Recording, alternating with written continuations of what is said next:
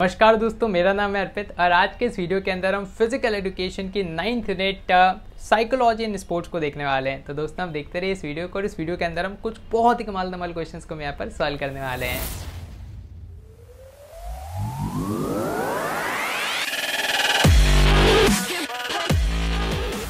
तो आज के इस वीडियो के अंदर हम लेटेस्ट सीबीएसई के सिलेबस के हिसाब से इस चैप्टर को कवर करेंगे। साथ यहाँ पर मैं इमेजेस के माध्यम से आपको इस कंप्लीट चैप्टर को बताऊँगा। तो और बहुत अच्छे से आपको ये चैप्टर समझ में आ जाएगा। साथ ही हम यहाँ पर previous year question sample paper question then practice questions को भी सॉल्व करेंगे जिससे एकदम मस्त वे में आपकी तैयारी सुनिश्चित हो जाएगी। तो आइए स्टार्ट करते हैं इस वीडियो को। तो आइए अब हम स्टार्ट करते हैं unit nine of physical education को और uh, इस यूनिट का नाम है साइकोलॉजी एंड स्पोर्ट्स देख लेते हैं हम इसमें क्या क्या पढ़ना है। फ़र्स्ट टॉपिक है पर्सनालिटी इसके अंदर हम इसके टाइप्स डेफिनेशन देन जंग भाई का क्लासिफिकेशन और बिग फाइव थ्योरी को देखने वाले हैं। देन सेकेंड अपने पास है meaning concept and types of aggression फिर हम देखेंगे वेरियस साइकोलॉजिकल एट्रीब्यूट्स स्पोर्ट्स के अंदर, जैसे self esteem self talk mental imagery goal setting तो उन सभी को हम अच्छे से देखने वाले हैं। बढ़ते हम आगे फ़र्स्ट अपने पास पर्सनैलिटी उसकी क्या डेफिनेशन है, क्या उसके टाइप्स हैं ट्रेट्स हैं। तो जो वर्ड है पर्सनालिटी इसको डिराइव किया गया एक लेटिन शब्द परसोना से, जिसका मतलब होता है मास्क मास्क मतलब मुखौटा, है ना? कोविड नाइन्टीन में जो मास्क लगाते हैं, वो नहीं। वो जो क्रिश वाला मास्क रहता है, उस तरह का मास्क तो बेसिकली पर्सनैलिटी एक मास्क है जिसका यूज़ किया जाता है किसी भी इंडिविजुअल के द्वारा सोसाइटी और इन्वायरमेंट से डील करने के लिए। जैसे एग्ज़ाम्पल के तौर पे आपने देखा होगा, एक इंडिविजुअल दो तरह की पर्सनैलिटी भी शो करता है। जैसे आपकी क्लास में कोई बहुत ही उद्यमी बालक है अब वो उद्यमी वाला क्लास में तो भाई साहब बहुत ज़्यादा मतलब बिल्कुल शोर शराबा कर रहा है लड़ाई झगड़े कर रहा है, लेकिन जैसे वो घर पे जा रहा है, जैसे उसका इन्वायरमेंट बदल रहा है, वहाँ पर वो एकदम भीगी बिल्ली बन जा रहा है। तो यही होती है पर्सनालिटी तो पर्सनालिटी बेसिकली कवर करती है एक overall physical mental social emotional और बिहेवियर क्वालिटी किसी भी इंडिविजुअल की। देन uh, आप ये अल्टरनेट डेफिनेशन भी लिख सकते हैं पर्सनालिटी की जिसके अंदर ये बेसिकली एक इंटीग्रेशन है। किसी भी इंडिविजुअल के स्ट्रक्चर का उसके behaviour interest attitude aptitudes capacity और एबिलिटीज़ का। अगर आपसे पूछा जाता है कि आपको पर्सनालिटी को क्लासिफाई करना है तो आप इस तरह से टेबल बना सकते हैं। एक है विलियम हर्बर शेल्डन का क्लासिफिकेशन जहाँ पर उन्होंने फ़िज़िकल बेसिस पर पर्सनालिटी को क्लासिफाई किया है। वहीं पर जो जंग भाई है अपने है ना? जंग एक इंसान का नाम है इन्होंने मेंटल बेसिस पर पर्सनालिटी को क्लासीफाई किया है। तो फ़िज़िकल बेसिस पर जो है, ये पहले हमारे सिलेबस में था, लेकिन अब डायरेक्टली नहीं है तो आपसे, है ना डायरेक्टली नहीं पूछेगा कि एंडोमॉर्फी मेजोमॉर्फी एक्टो क्या होती है। लेकिन हाँ अगर आपको टाइप ऑफ़ पर्सनैलिटी लिखना पड़े तो इस तरह का आप चार्ट बना के आ जाना और इनको लिख देना और एक एक लाइन इनके बारे में लिख देना। अभी मैं आपको बताऊँगा।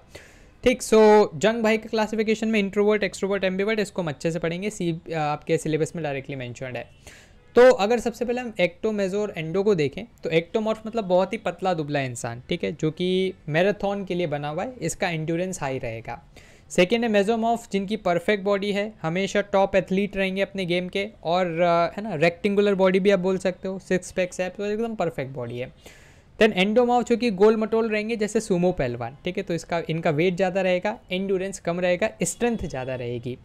देन इसके बाद आ जाता है अपने पास मेंटल बेसिस पर क्लासिफिकेशन जंग भाई का। ये सिलेबस में डायरेक्टली मेंशन है। इंट्रोवर्ट मतलब एक ऐसा व्यक्ति जो कि अपने ही थॉट में खोया रहे। ठीक है? इंटरनल वर्ल्ड ऑफ़ थॉट्स में खोया हुआ रहता है। पुअर सेल्फ कॉन्फिडेंस इसका रहता है। मूडी है अनसोशल है, हमेशा चुप रहता है है ना? और नेगेटिव सोच रखता है। देन इसके बाद एक्सट्रोवर्ट एक ऐसा व्यक्ति जो कि भाई साहब बिल्कुल अपोजिट है इंट्रोवर्ट का। एंड ये फ्रेंडली है कॉन्फिडेंट है लाइवली है है ना? और एकदम लीडरशिप की भूमिका निभाता है। देन इसके बाद आ जाता है अपने पास एम बी वर्ड तो एम बी वर्ड क्या होते हैं? ऐसे लोग रहते हैं जिनके पास मिक्स ट्रेट रहता है ना? ये इंट्रोवर्ट और एक्सट्रोवर्ट का एक कॉम्बिनेशन रहते हैं इसको अपन एम बी वर्ड बोलते हैं. देन बिग फाइव पर्सनैलिटी अब हम इसको देखने वाले हैं ना? तो इसको याद करने के लिए एक uh, छोटा सा कीवर्ड है जिसको अपन ओशन बोलते हैं समुद्र है ना? तो ओ सी ई ए एन ओ फॉर आ जाएगा ओपननेस देन सी से आ जाएगा कॉन्सेंटियसनेस ई से आ जाएगा extraversion A for agreeableness and N for आ जाएगा न्यूरोटिसिज्म ठीक है? तो आप इसको याद रखिएगा। अब ये क्या है बेसिकली ये किसी की भी पर्सनालिटी को जज करने के लिए कुछ पैरामीटर्स हैं, ठीक है? तो फॉर एग्ज़ाम्पल आपको देखना है कि यार ये पर्टिकुलर बंदा ओपन है या फिर नहीं तो आप इन सारे पैरामीटर्स को देखोगे। Same with conscientiousness extraversion agreeable and neuroticism कई बार एग्ज़ाम में आपसे पूछ लिया जाता है कि भाई टेबल बना दो आप इसके लिए, ठीक है? तो पाँच ही पैरामीटर्स को एक साइड लिखना है देन उसके बाद क्या क्या ट्रेट्स उसमें आपको डालने हैं वो आपको लिखना है। जैसे फॉर एग्ज़ाम्पल आप किसी भी व्यक्ति की पर्सनालिटी को इवेलुएट कर रहे हो ना। शादी है, शादी में दीदी के लिए लड़का देखने गए तो आप वहाँ पर बिल्कुल सोफ़ा पे पेन कॉपी लेकर बैठे हो। फ़र्स्ट पैरामीटर आप देख रहे हो ओपननेस है या फिर नहीं इस पर्टिकुलर व्यक्ति में? तो आप देखोगे कि क्या वो क्रिएटिव है, क्या वो इंटेलिजेंट है, क्या वो थिंकिंग करता है या फिर नहीं, है ना? और और अगर आप उसको लो स्कोर दोगे, अगर वो कॉशस है केयरफुल है है ना रिजिड है इनफ्लेक्सिबल है तो आप उसको लो स्कोर दे दोगे। देन कॉन्सेंटसनेस वाला कैसा पैरामीटर आप चेक करोगे कि क्या वो व्यक्ति ऑर्गेनाइज डिपेंडेबल डिटर्मेंट है या फिर नहीं? है ना? और बाई चांस अगर लेस डिसिप्लिन है एंड uh, बहुत जल्दबाजी में डिसीज़न करता है फ्लेक्सिबल बहुत ही ज़्यादा है तो फिर आप बोलोगे यार कॉन्सेंटिस वो नहीं है। ठीक है? तो आपको पॉजिटिव वाले पैरामीटर्स पे ज़्यादा ध्यान देना है जैसे एक्स्ट्रा वर्जन तो अगर कोई व्यक्ति वार्म है असर्टिव है चेयरफुल है तो भाई एक्स्ट्रा वर्जन है। एग्रीबलनेस के लिए भी आ जाएगा आपके पास एफेक्शनेट लविंग और uh, है ना? अगर ये सारी क्वालिटीज़ उसके अंदर है तो एग्रीबल है। बहुत ज़्यादा कंपटीशन को फेवर करता है एसर्टिव है, दूसरे पर ये अपना, है ना, धौस जमाना चाहता है तो वो एग्रीबल नहीं होगा। न्यूरोटिसिज्म में अगर वो एंशियस और एग्रेसिव है तो बोलोगे यार न्यूरोटिसिज्म है। जबकि अगर उसका लो स्कोर आ रहा है इस वाले में ना न्यूरोटिसिज्म में, वो मतलब वो अच्छी बात है, ठीक है? इसका मतलब है कि वो रिलैक्सड है इजी गोइंग है, और नेगेटिविटी को ज़्यादा उससे, है ना, कोई दिक्कत नहीं होती उसको, और स्टेबल उसका मूड रहता है। देन एक एक करके अगर हम इसको और डिटेल में देखें तो ओपननेस जैसे हमने देखा, है ना? तो टेस्ट करने के लिए आप देखोगे सारी क्वालिटीज़ इमेजिनेटिव है ना? इंसाइटफुल अब देखो एग्ज़ाम में हो सकता है कि शायद आपको सारे पॉइंट्स याद न रहे तो जितने याद रहे उतने लिख के आ जाना, कम बन जाएगा। देन कॉन्सेंटेसनेस में भी अभी हमने देखा, है ना? वही बातें यहाँ पर भी लिखी है, जैसे हार्ड वर्क करने वाला सेल्फ डिसिप्लिन हो, है ना? जो लाइफ के चैलेंजेस से कम्पीट कर ले, ऐसा नहीं, बस डर के बैठ जाए। एक्स्ट्रा वर्जन मतलब जो एनर्जेटिक है पॉजिटिव है है ना? और सोशलेबल है टॉकेटिव है तो उसको आप एक्स्ट्रा वर्जन में डालोगे। एग्रीबल में मतलब जिसके अंदर एक सेंस ऑफ़ कॉपरेशन है, वो काइंड है जेंटल है फ्रेंडली है तो एग्रीबलनेस के अंदर आ जाएगा। वहीं पर न्यूरोटिसिज्म में क्या नहीं होना चाहिए? उसके अंदर एरोगेंस और वो सब नहीं होना चाहिए, है ना? और वो क्या करना चाहिए? तो आराम से इमोशनली स्टेबल हो एंगर को कंट्रोल कर पाए और एनजाइटी और इन सारी चीज़ों को भी वो कंट्रोल कर ले। नेक्स्ट आ जाता है अपने पास एग्रेशन तो एग्रेशन बेसिकली एक कोई भी फ़िज़िकल या बर्बल बिहेवियर रहता है जो कि डायरेक्टेड रहता है सीधा टुवर्ड्स द गोल और फ़ार्मिंग अदर ठीक है तो यहाँ पर हम चाहते हैं कि किसी सामने वाले व्यक्ति को या तो फिजिकली या फिर मेंटली उसको हार्म पहुँचाया जाए. तो उसको अपन एग्रेशन बोलते हैं. तो कितने तरह का एग्रेशन रहता है? तो यहाँ पर तीन प्रकार का एग्रेशन रहता है होस्टाइल इंस्ट्रूमेंटल और एसर्टिव होस्टाइल को हम रिएक्टिव एग्रेशन भी बोलते हैं इंस्ट्रूमेंट पॉजिटिव रहता है और उसको अपन चैनलाइज एग्रेशन बोलते हैं. और वहीं पर एसर्टिव बिहेवियर जो रहता है, जिसके अंदर हम सामने वाले पे असर्शन जमाते हैं, है ना? और डिटेल में अगर आपको लिखना हो तो ये तीनों पॉइंट्स मैंशन करके आना. या बाई चांस अगर आपसे टेबल बनाने के बोलता है तो भी आप ये वाले टेबल बना के आ जाना. तो होस्टाइल एग्रेशन में क्या होगा? आप सामने वालों को चोट पहुँचाना चाहते हो, है ना? भले वो फ़िज़िकल हो या फिर मेंटल हो. जैसे एग्ज़ाम्पल के तौर पे एक बाउंसर फेंकना, है ना? क्रिकेट में बाउंसर क्या होती है? गेंद को बिल्कुल बहुत मिड पिच पर टपका खिलाना और बिल्कुल वो आपके सर के ऊपर से निकल जाती है। हो सकता है आपके सर को हर्ट भी करते हैं ना? आपके हेड को। तो उसको अपन होस्टाइल एग्रेशन बोलते हैं।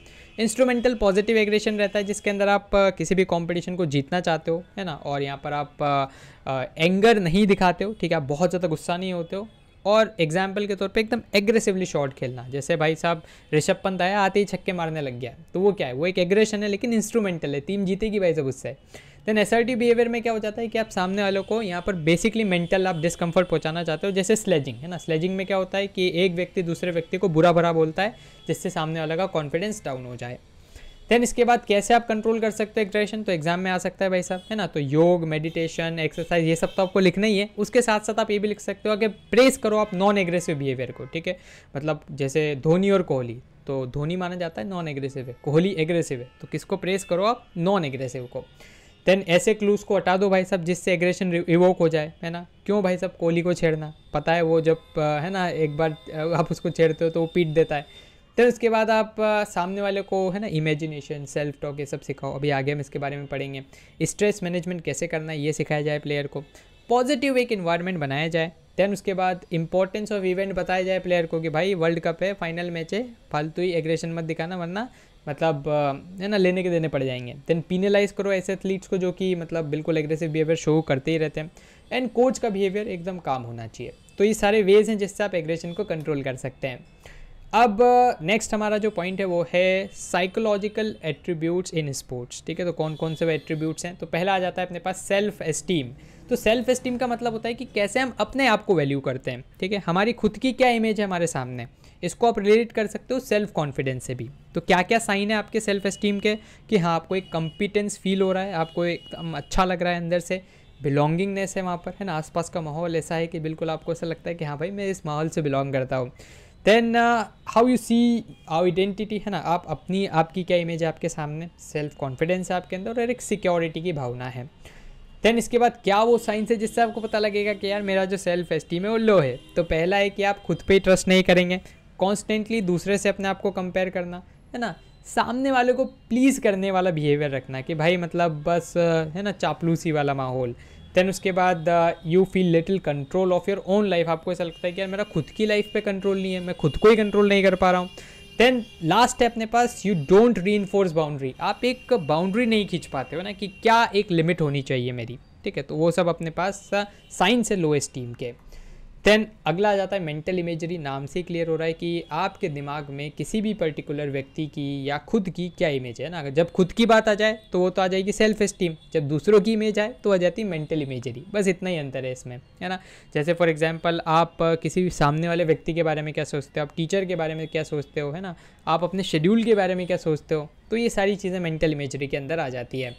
जैसे यहाँ पर आप बोल सकते हो डे ड्रीमिंग करना। तो डे ड्रीमिंग में भी आप क्या कर रहे हो? आप किसी भी चीज़ को सोच रहे हो जो कि एक्चुअल में है ना? मतलब आपके साथ अभी घटित नहीं हुई लेकिन आप उसको सोच रहे हो तो मेंटल इमेजरी हो जाती है। नेक्स्ट आ जाता है अपने पास point self talk self talk का मतलब है कि कैसे आप खुद से बात करते हो है ना? एंड uh, मतलब बेसिकली खुद से ही बात करना। अपनी इनर आत्मा से बात करना। तो अब सेल्फ टॉक में और क्या क्या जाएगा? तो आप अपने खुद से ही बात करोगे, है ना? एंड जो भी आपके अनस्पोकन थाट्स हैं, वो सब निकल के बाहर आएँगे। देन इससे पता लगेगा कि यार, आप खुद में कितना विश्वास करते हो, क्या आपके थॉट्स हैं, क्या आपके दिमाग में क्वेश्चंस हैं, क्या नए आइडियाज़ हैं जो कि आपके पास हैं? तो ये सब सेल्फ टॉक के अंदर आते हैं। सेल्फ टॉक यार आप पॉजिटिव भी हो सकती है नेगेटिव भी हो सकती है, या दोनों का मिक्सचर भी हो सकता है। देन uh, अगर हम यहाँ पर देखें तो अगर सेल्फ टॉक पॉजिटिव है इसका मतलब आप एक मस्त इन्वायरमेंट हो। नेगेटिव हो रही है इसका मतलब है कि आपको किस चीज़ की ज़रूरत है? आपको उस चीज़ को सुधारने की ज़रूरत है। देन नेक्स्ट आ जाता है लास्ट पॉइंट है अपने पास गोल सेटिंग गोल सेटिंग का मतलब क्या होता है? एक ऐसा एक्शन प्लान बनाना अपने लिए जिससे आप खुद को मोटिवेट कर सको और गाइड हो सको टूवर्ड्स ए पर्टिकुलर गोल ठीक है? तो ये मतलब आप खुद के लिए प्लान बना सकते हो दूसरे के लिए बना सकते हो। अब यहाँ पर आप इस शब्द का यूज़ कर सकते हैं स्मार्ट है ना? कि ये गोल कैसा होना चाहिए भाई? सब स्मार्ट होना चाहिए। Specific measurable attainable realistic and time bound तो स्पेसिफिक मतलब बिल्कुल एक रियल नंबर्स रियल डेडलाइन रहे, है ना? और स्पेसिफिक रहे कि भाई साहब, मुझे एन e पूरी कवर करनी है हिस्ट्री की। मेजरेबल कि हाँ इसमें 11 चैप्टर है तो 11 चैप्टर मुझे कवर करने हैं। अटेनेबल ऐसा गोल जो कि आप अचीव कर पाओ, वही रखना है ना? ऐसा नहीं कि भाई एक दिन में चार एन e पढ़ लूँगा मैं। रियलिस्टिक हो, ठीक है? रियलिस्टिक और अटेनेबल ऑलमोस्ट आसपास ही है ना ना? रियलिस्टिक मतलब आपको खुद से भी ऑनेस्ट रहना है एंड जितनी आपकी कैपेबिलिटी उतना ही गोल बनाओ। नेक्स्ट है टाइम बाउंड तो टाइम बाउंड होना बहुत इंपॉर्टेंट है यार गोल का, तभी आप उसको अचीव करने के लिए काम कर पाओगे। अब एक छोटा सा अपडेट मैं आपको दे देता हूँ यार, अभी फेस्टिव सीज़न चल रहा है और आप बिल्कुल अपने लव ऑफ़ लर्निंग का सेलिब्रेट कर सकते हैं और यहाँ पर अन अकेडमी का अगर आप सब्सक्रिप्शन लेते हैं फोर्टीन ऑफ़ अक्टूबर तक या फिर अगर आप आगे भी लेते हैं तो अगर उस टाइम पे जो भी बेस्ट ऑफ़र होगा वो आपके लिए अप्लीकेबल होगा। लेकिन हाँ इस टाइम फ्रेम में अगर आप लेते हैं तो आपको 20 परसेंट का फ्लैट डिस्काउंट यहाँ पर देखने को मिलेगा। एंड uh, इसके लिए आपको यूज़ करना पड़ेगा code A P P D hundred जैसे 20 परसेंट का डिस्काउंट मिलेगा। क्या क्या फ़ायदे हैं? तो यहाँ पर अन अकेडमी पर बिल्कुल आपको स्ट्रक्चर्ड वे में किसी भी चीज़ को पढ़ने का मौका मिलता है। मैं खुद आपको यहाँ पर इंग्लिश एंड फ़िज़िकल एजुकेशन पढ़ाता हूँ तो आप मुझसे भी यहाँ पर कनेक्ट हो सकते हैं और पढ़ाई कर सकते हैं। देन uh, कोई भी दिक्कत हो डाउट हो क्वेरी हो तो मुझे कमेंट बॉक्स में बता देना है ना? और जो भी बेस्ट ऑफ़र रहेगा आप जब भी इस वीडियो को देख रहे हैं वो आपके लिए एक्टिवेट हो जाएगा ऑटोमेटिकली लिंक्स डिस्क्रिप्शन में code A P PD hundred बढ़ते हैं अब हम आगे और सीबीएसई e के सैंपल पेपर के क्वेश्चंस को देख लेते हैं. तो लेटेस्ट जो सैंपल पेपर है उसमें आप प्रश्न आया है कि एक person who likes to learn new things new concept new experience उसको क्या आप बोलेंगे? तो उसको बोलेंगे ओपननेस ठीक है हमने देखा था बिग फाइव थ्योरी के अंदर. लिस्ट डाउन करना है चार बेनिफिट ऑफ़ सेल्फ टॉक अभी हमने देखा था कि क्या क्या बेनिफिट होगा। आपको नए थॉट्स आएँगे, आपके अंदर क्या आइडियाज़ हैं, क्या क्वेश्चन है, किस पे आप बिलीव करते हो, वो सारी चीज़ें आपको पता लगेगी। देन टेबल आपको बतानी है जिसमें तीन पर्सनैलिटी के ट्रेड बताने हैं, वो मैंने आपको बताया था बिग फाइव है ना, पाँच चीज़ें बताई थी, पाँच में से कोई भी तीन आपको लिखना है और उनके कैरेक्टरिस्टिक्स लिखना है। देन दो हज़ार इक्कीस वाले सैंपल पेपर में प्रश्न था कि एक्सप्लेन करना है आपको एग्रेशन ठीक है? डायरेक्ट डेफिनेशन लिखो देन उसके बाद रोल बताना है और उसके टाइप्स बताना है, ठीक है? तो टाइप्स आप आराम से बताई दोगे। वो तीन टाइप के एग्रेशन आपको लिखने हैं। बिल्कुल वही की वही टेबल बनानी है। देन इसके बाद कुछ एम आपके लिए। पर्सनालिटी शब्द को कहाँ से डिराइव किया गया है? तो इसको डिराइव किया गया Latin word persona option number A then traits of high self confidence social friendly confidence ये सब लाई करते हैं कहाँ पर? तो ये एक्सट्रोवर्ट पर्सनैलिटी के अंदर रहते हैं। Traits of extrovert introvert ambivert is given by किसने वाले ट्रेड्स दिए थे? तो ये वाली क्लासिफिकेशन दी गई थी जंग भाई साहब के द्वारा option A big five theory को अपन एक और किस नाम से जानते हैं? तो उसको हम फाइव फैक्टर मॉडल के नाम से भी जानते हैं। बिहेवियर जो कि कैरिड आउट है टूवर्ड्स हार्मिंग अदर तो वो क्या हो जाएगा? एग्रेशन देन इसके बाद अगला है कि कोई भी फ़िज़िकल बिहेवियर जिसमें आप इंटेंशनली एम करते हो सामने वालों को इंजर करना मतलब आप हॉस्टैलिटी करना चाह रहे हो तो hostile aggression option number A एक प्रैक्टिस क्वेश्चन इसका आंसर आपको कमेंट में देना है कि आप एग्रेशन से क्या समझते हैं? और एक एक्सपेक्टेड क्वेश्चन इस यूनिट का, जहाँ पर आपसे पूछा गया है कि आपको बताना है कि पर्सनालिटी से क्या समझते हैं, तीन कैरेक्टरिस्टिक्स बतानी है तो वही ओशन ट्रेट्स में से कोई भी तीन आपको यहाँ पर बताने हैं। तो दोस्तों, फ़िलहाल के लिए इस वीडियो में इतना ही। मुझे उम्मीद है कि आपको वीडियो पसंद आया होगा। अगर आपके कोई भी डाउट्स हो, सवाल या सुझाव हो तो उसको आप ज़रूर से कमेंट बॉक्स में लिख दीजिएगा। दोस्तों आप हमारे चैनल को सब्सक्राइब कर लीजिएगा, क्योंकि इस समय और भी ज़्यादा मोटिवेशन मिलता है आपके लिए वीडियोस बनाने के लिए। सब्सक्राइब बटन के पास बने एक बेल आइकन को भी आप ज़रूर से दबा दीजिएगा, ताकि हमारे चैनल की लेटेस्ट नोटिफिकेशन आपसे मिस ना हो। तो दोस्तों, धन्यवाद। जय हिंद, जय भारत।